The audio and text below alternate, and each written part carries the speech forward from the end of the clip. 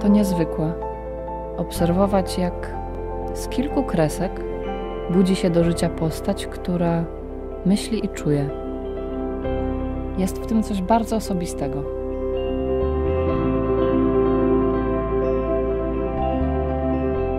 By film sprawiał radość lub wzruszał, ważnym składnikiem jest kawałek siebie.